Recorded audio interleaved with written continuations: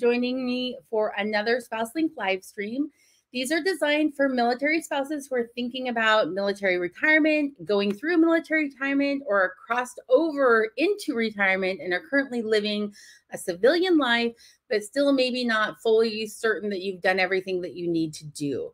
So, the very first thing is, I would love for anyone who's here watching with us to just give me a little shout out. Tell me where you're joining us from. Um, just a quick introduction. My name is Anna Larson.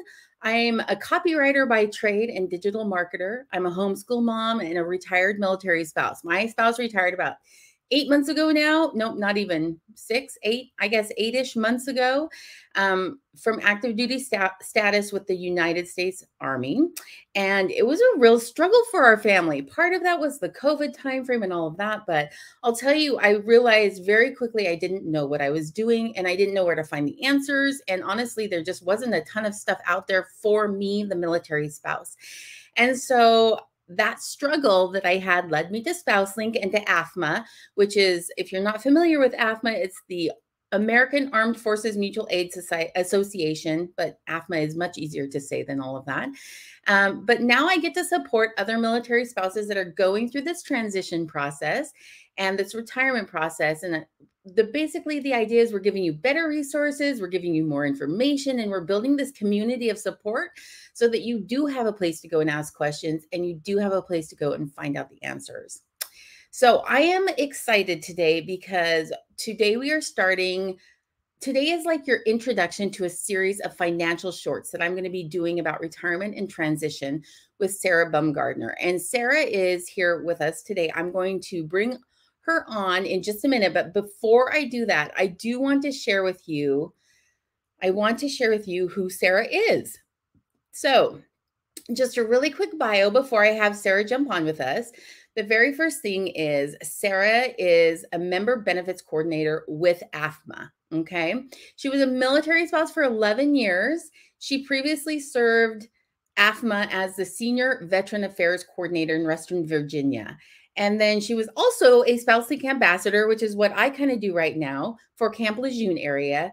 And then she was also a relationship manager for the AAFMAA Wealth Management and Trust. So Sarah has been in this finance world for quite some time and specifically working with military families. So if there is someone that knows what we're talking about, it's going to be her. Um, before she joined AAFMAA, she was the admissions coordinator and medical records supervisor for a skilled nursing facility in 29 Palms, California. She's the mother of two boys. She enjoys spending her time outdoors and helping others. She graduated from Auburn University with a health and hospital administration degree, which little side note, that's totally what I wanted to do way back when when I was in college.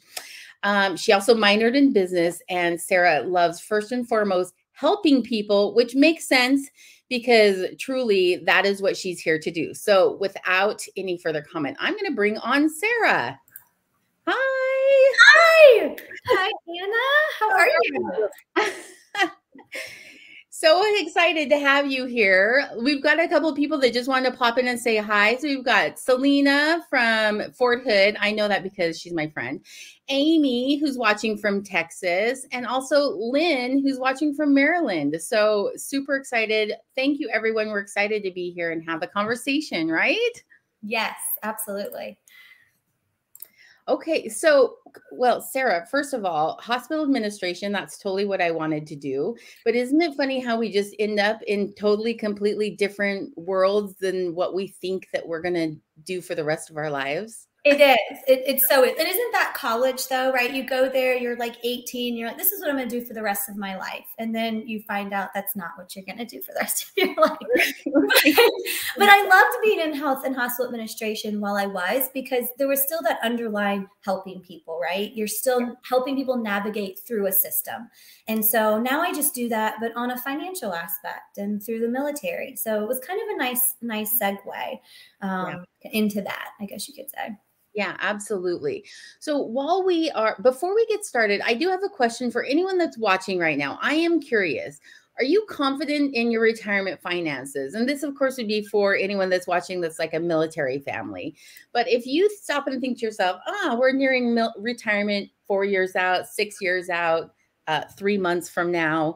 Are you confident that you know what you're doing with your finances? Because today we're talking about this new finance mini series that Sarah's going to be kind of hosting for us as the expert. Because let me tell you what I am not. I am not an expert in finances. If I was, I think parts of our transition would have gone very differently. right? Yeah. So, okay. So, pop it in the comments. Are you confident in your retirement finances? If not, that's okay. I think you join a very large group of military families that maybe aren't super sure that they know what they're doing. Um, but okay, so let's go ahead and get started. Before we do that, um, Sarah, I one of the reasons why I really wanted to have you on is because that when you go through finances with retirement, um, you and I brainstormed a little bit about just well, I was thinking, well, we'll just have a single conversation. But the reality is, is this is huge. This is a huge topic. Like you can't have a single conversation about it. And so um, when I, because when I went through retirement with my spouse, after 20 years, we had very limited options with what we can do. And now all of a sudden we had all of these options, right? Yeah. Yep and that's and that's just it and i'm i'm i'm just so glad that we're here kind of today and talking about finances and you've already hit on the major point which i think is the lack of talking about finances in the military um, and so i'm hoping we're going to change all that today in this mini series and we're going to dive into providing kind of tangible ways that veterans and their families can prepare financially for leaving the service and how to overcome the obstacles you're you're gonna face and and you also kind of said it so nicely, Anna, that sometimes you just don't know where to ask. You don't know where to ask questions. You don't know what to ask the questions on. And so hopefully through this mini series, we're going to be able to kind of get all those juices flowing and start saying, here are some questions to be asking and then implementing in your specific family situation. Yeah. And so I'm I'm just I'm so excited about it. Um, you know, I I'm excited about math. What can I say? But that's okay. you and me, we do not have that in common. but mm-hmm. so I do want to say that as part of this, one of the reasons why I really wanted you to come on with as as a an employee of AAFMAA is because I know that their finances are touchy, right? People people get a little bit, you know, they there's some anxiety and some angst that go, especially when you're talking to someone, because you never know, do they have my best interest in mind? And so, one of the things before we get started is I really want to mm-hmm. make sure that we let everyone who's watching understand the fiduciary responsibility that AAFMAA has. And so, mm-hmm. Sarah, can you just explain a little bit what that means and why you are an excellent person to have on this show in terms of like providing these best practices? mm-hmm. um, as far as military finances go. Absolutely. So, um, you know, when we talk about AAFMAA, we are many things, right? We're a life insurance company, we're a mortgage service company, and we're a wealth management and trust company. And our wealth management and trust company, like you said, is it's a fiduciary company. And what that means is that they must, and I emphasize must by law, provide the right and best information for a client. So it has to be in the, the client's best interest to move forward. Um, but that's also just really a fundamental of AAFMAA. The business practice of AAFMAA is our members know that we're a place where you can ask the question and we have subject matter experts. And if for some reason they don't know the answer, they'll go out and research it and find it for you to inform you. And so I, you know, I've been a part of AAFMAA for the last 11 years. And it's because it's it's a fundamental kind of how we operate as a business is we are here to help. And how can I help? So uh, it's that fiduciary standard that sets us a, a little bit apart and um, allows us to just be able to educate and to be a place of, of asking questions.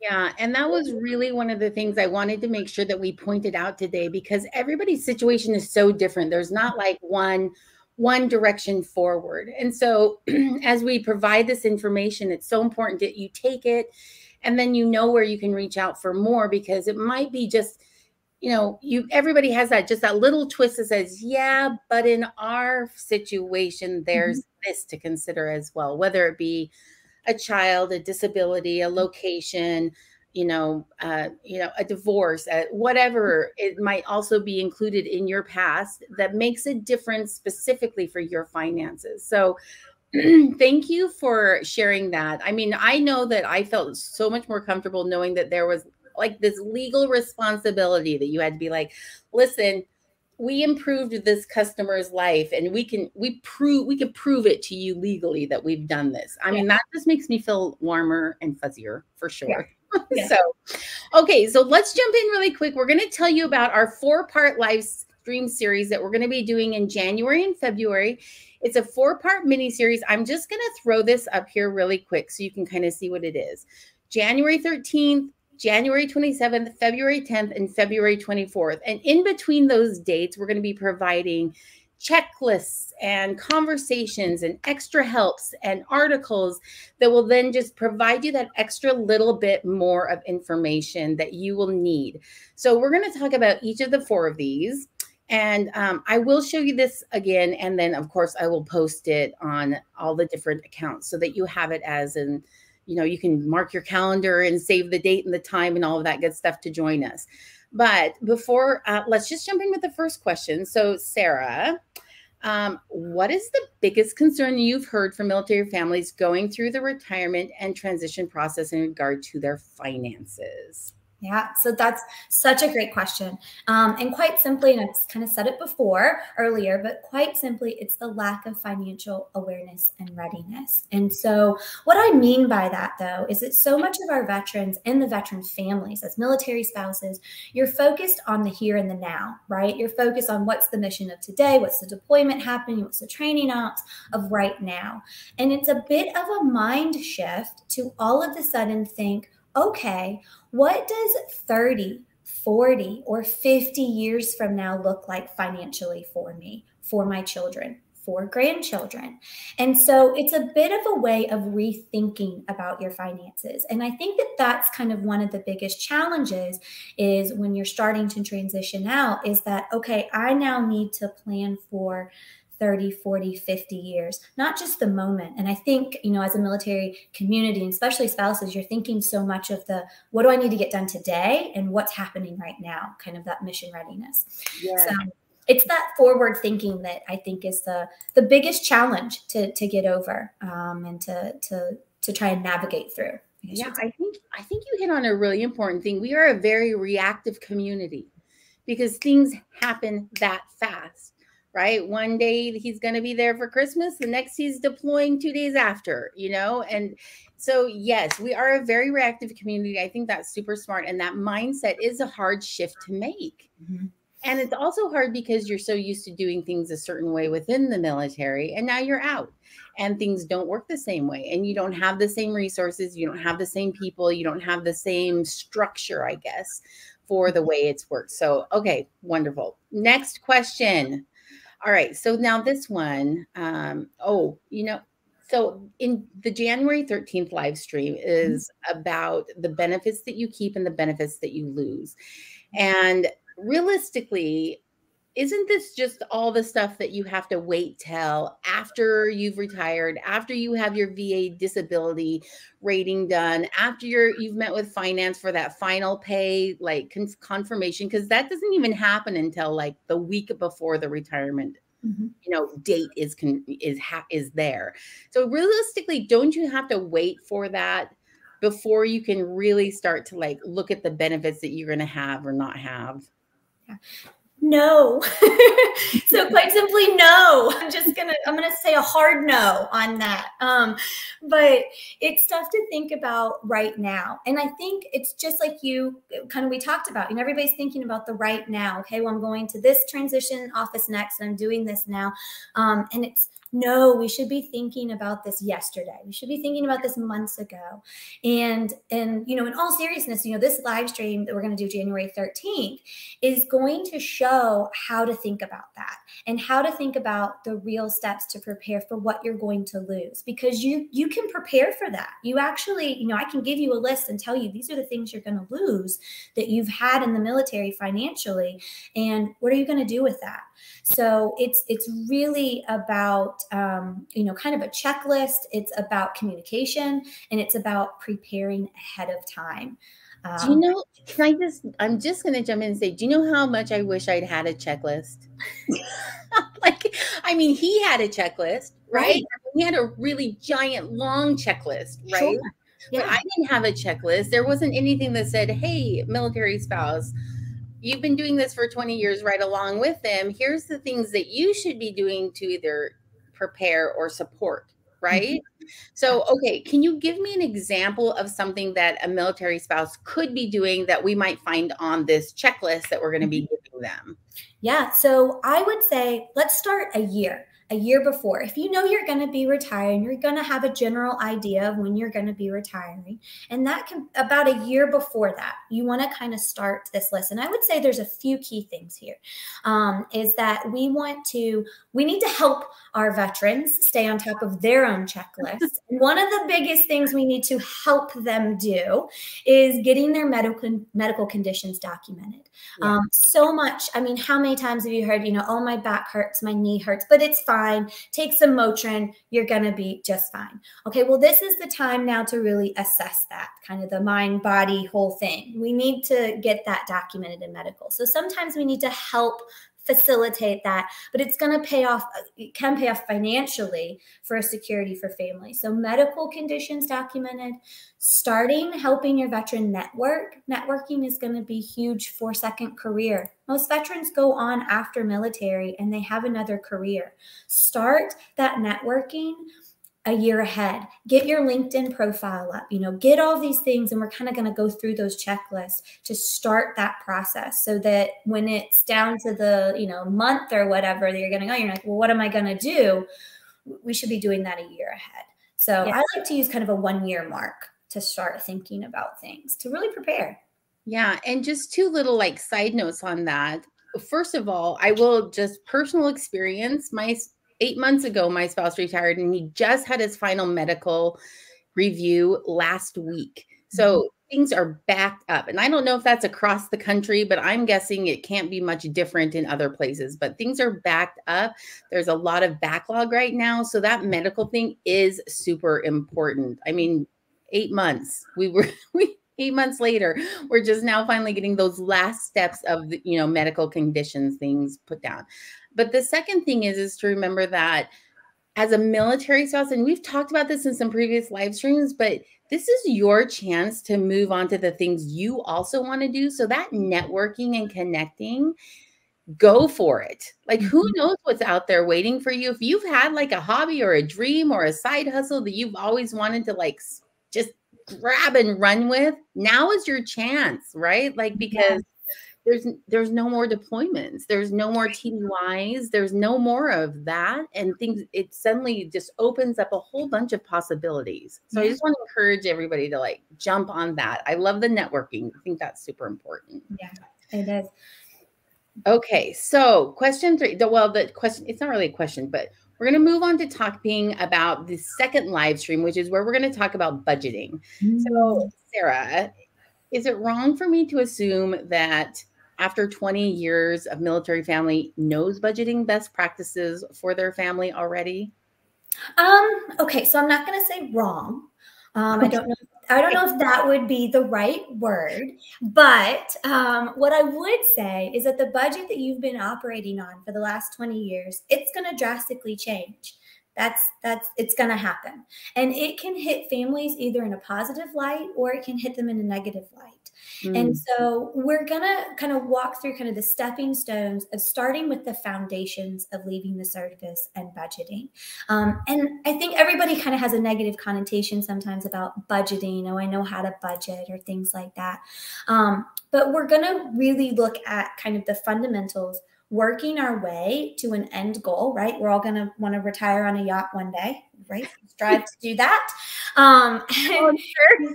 right? That's that's going to be the goal here. We're going to at least try and get there. Um, so you know, starting at those those foundations, and that's really important. It's you know, you can't.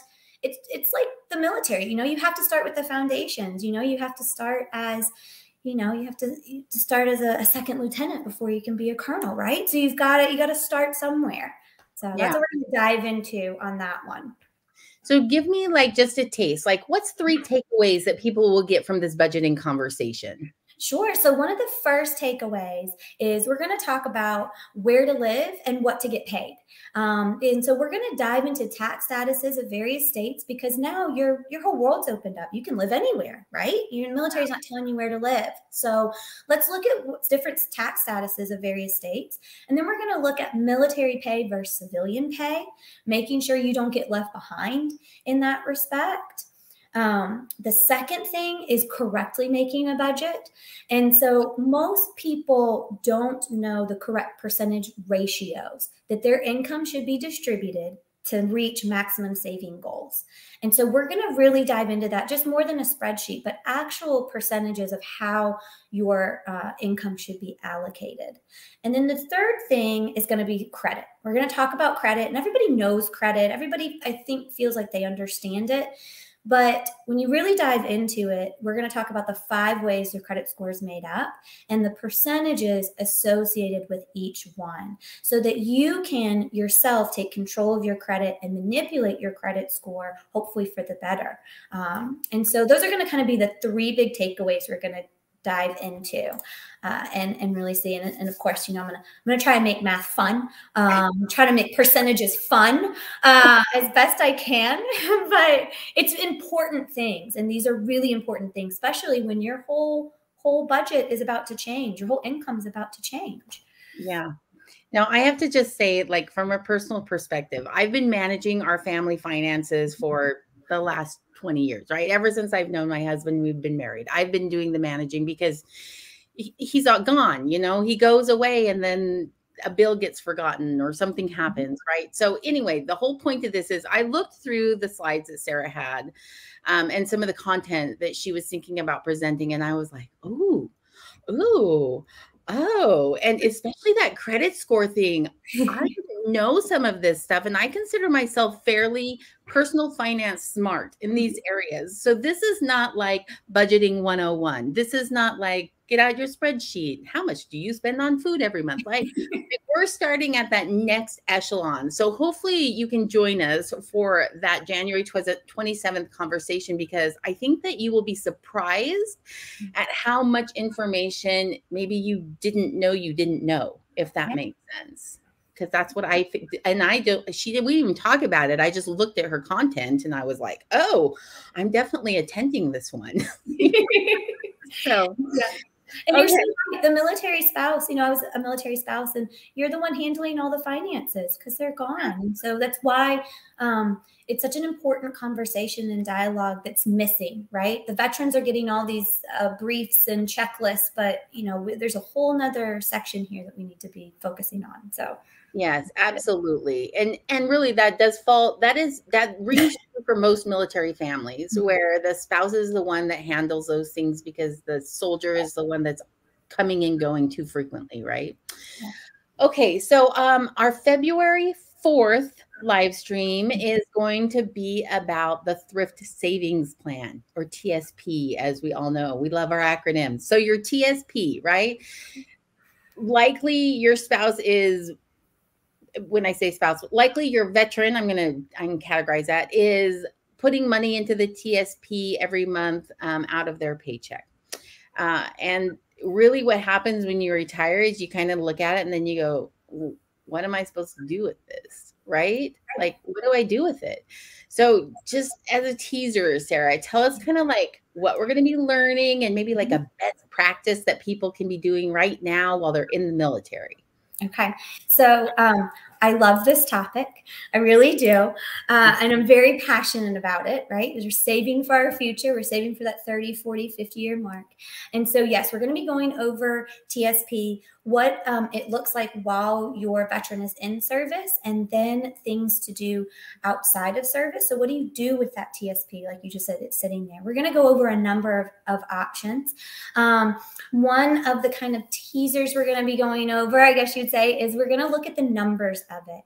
So, understanding maxing out, that's one of my big things. We're going to learn how to max out and why that's so important um, to max max that out because you, you're going to get an opportunity while you're in the service that you're not going to have somewhere else. So Um, that's that's what we're going to look into, and we're also going to go into risk tolerance, which is really important, and understanding now what investing in the civilian world looks like.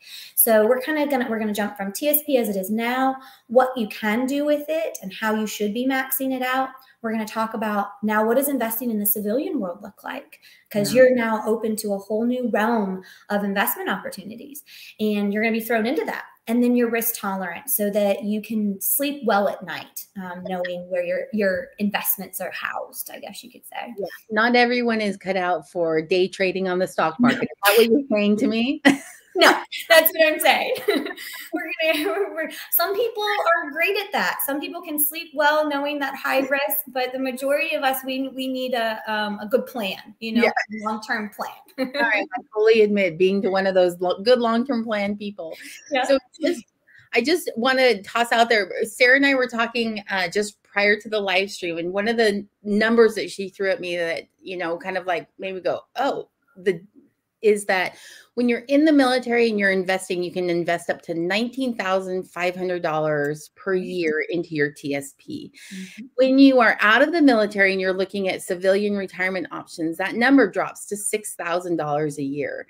So if you're active duty right now and not maxing out your TSP to the best of your financial ability, you're losing a huge opportunity that's going to disappear the minute you get out. And I think that's those are big number differences. I mean, that's a third of yeah. what you can do when you're active duty. So yeah. that's just like one of those little things like, did you know? We're going to talk about it. exactly. Okay. So now moving on from TSP to like yet another one of those hot, hot topics. Like every retirement Facebook group, conversation, like club, I'm community, this conversation comes up. And so our fourth and final finance live stream short is going to be on the survivor benefit plan or SBP versus life insurance. And I like to say versus because it's almost like there's like this you know, like in the ring fighting thing that's going to happen. Which one's going to win, SBP or life insurance?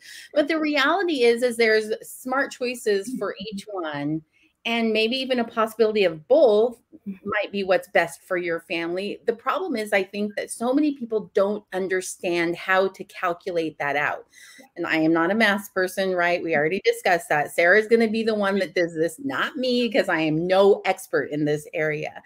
But if you're at that point where you're having to make that choice, and this is military spouses, your your veteran cannot sign away SBP without your without your signature too. So this is a conversation you kind of have to be part of in terms of SBP. So okay, I'm going to stop talking about it. Sarah. Can you just tell us, right? Tell us what we're going to focus on in our SB com- SBP conversation and kind of like the takeaways that people will get mm-hmm. um, from this. Yeah, absolutely. Well, I love your passion about SBP because I have the same, you know, passion about it too. Because it's, you know, it comes down to numbers again. But and you you said it wonderfully is that this is a conversation that really has to happen between the spouse and the veteran, and both parties need to understand it and they need to feel good about it. And so what I'm going to do is I'm going to show very simply, you know, how are we calculating SBP? How is it calculated? Um, what does that comparison look like to life insurance? So again, in order to understand that, we're going to have to look, you know, down the road, right? If you're going to start paying into something forever, what does that look like financially? And is that the smartest way? And you know, I always try and, and to be on neutral ground. So I'm just going to present kind of the facts of the math of it. And then people have to take that information and they have to see what's right for them. So I'm going to be able to show, you know, this is what it looks like if you were going to take SBP. This is what it looks like down the road financially. This is what it looks like as a comparison to life insurance. And um, one of the things, you know, we're, we're going to talk about is RMDs and required minimum distributions on investments and how that even can play into your decision about SBP or life insurance. Um, so we're gonna we're gonna really kind of map. I'm gonna map this out and best I can in kind of categories. The now, the what does it look like in 10 or 20 years? And then what's it going to look like because you're still going to be paying for SBP when you're 70 years old, you know, or 80 years old. What's it going to look like there? Yeah. So we're going to kind of hit three categories, um, which a lot of people, again, aren't really getting that education when they're transitioning out of the military because the military is saying, well, this is what's going to happen to you right now right? This is what it's going to look like right now. And so we want to just kind of open the conversation of, but what does my decision right now look like in 40 years? And yeah. is this financially right? So Whew, yes, that's so that is, that is so good. Can I just tell you too, because you you're talking and then you said RMD, something minimum distribution. And I mean it's like flowing over the top of my head and not going through my brain. And I'm thinking, I know this is like these conversations are hard for people that are not financially minded or or mm-hmm. you know in, enmeshed in this on a day-to-day basis so i'm going to throw this back up here i'm going to show our mini series um, live stream schedule because the point of these mini series is that sarah's going to be providing these like little bites, bite sized information that you can take, and then a whole two weeks of like follow up, backup assistance um, from me and SpouseLink and Sarah. And in terms of like, where do you go now? Who can you reach out to? Here's a checklist. Here's the formula. Here's the spreadsheet for you to use and be there to answer questions and to kind of help you navigate through this process so if if when she was talking and she threw out that RMD and it went over your head, this is the series for you because this is where we're going to stop and she you're going to understand what that means exactly mm-hmm. and how how it plays into ultimately your finances because this is a big deal. Finances are a big deal when you leave the military. It's like the number one hot topic for every retiring family.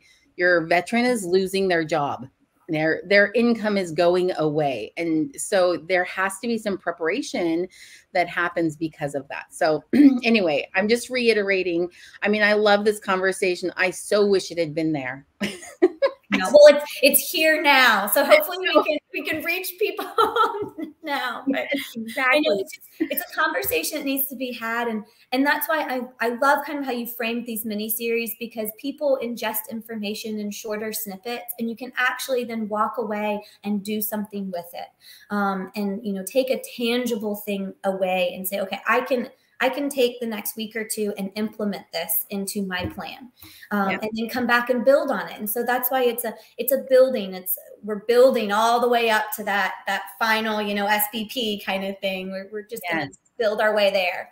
I love that. Okay, so what should you be doing with this information we just gave you today? I'm talking to anybody out there who's listening right now. The very first thing is put this series on your calendar.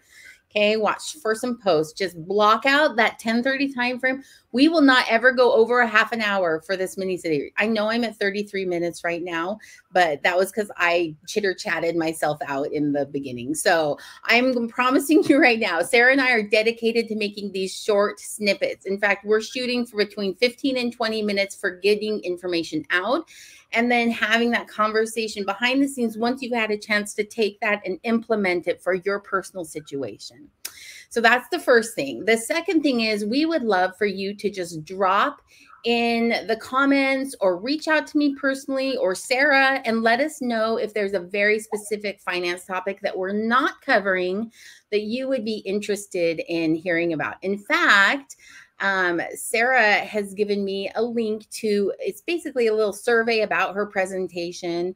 Um, so if you wouldn't mind anybody listening right now, if you wouldn't mind going through and just filling this out, if you have additional information, I just posted it in the comments. I'm going to just throw this out here right here. So it's just a jot form. It like you literally like two minutes to fill out, if even that. Um, and then the third thing is connect with Sarah and me um, in whatever way that you want. And I'm going to go ahead and move this over so you know. Sarah, can you tell everybody how they can connect with you? Absolutely. So um, you can connect, you know, through our AAFMAA webpage, or through LinkedIn directly. You can, um, you know, feel free to message me or connect with me on LinkedIn or drop me an email um, right there, sbumgardner at aafmaa.com. And um, I will, I'll get back to you and hopefully be able to, to answer some, some questions. And um, yes, the, the jot form is great because it, it kind of gives, gives me an idea of, am I talking about things that you're wanting to hear about? Um, because I'm here to help this community. And so, you know, tell me, tell me what you need help with, right? And uh, let's let's talk about it. So yes, yes, yes, that's awesome. Okay, so hey everyone, thank you so much for joining the SpouseLink live stream. Um, okay, so Remember that SpouseLink started this series to help military spouses nearing retirement, in the middle of transition, or who have already retired. This is not just for one specific category, and it is for military spouses. We really try and tailor the information to you because there's a lot going out to your veteran, but your part in that retirement process is so important. So I love being a part of their mission to support, inform, and inspire. So I'm glad to be here make sure you go visit spouselink.org. You can do a search. SpouseLink is tied to AAFMAA. So you can do a search on finance, on PCSing, on, I mean, whatever your question of the day is, and you're going to find so much good information there. Connect with me on LinkedIn. Let me know what topics are on your mind for my 2022 conversations uh, because we want to touch on all the things pertinent to retiring spouses. And then thank you again, Sarah. What a pleasure to have you on here today. I cannot wait for this live stream series, these finance conversations. Yeah. Well, thank you so much. Thank you so much, Anna, for for letting me be a part of this and for getting the information out there. And I'm I'm so excited. I get very excited about these things. Um, I get excited about planning and numbers and, and things. So I can't I wait to dive in. Yes. Okay. So, everyone, thank you so much. Um, happy holidays. I won't see you again until probably early January when we start our very first. And I'm just going to one last time so you can make sure you know one last time January 13th, 10:30 Central Time, LinkedIn, YouTube, and you'll see you'll see the links. So make sure and join us. Can't wait to have you. And um, all right, happy holidays, and we will see you next year.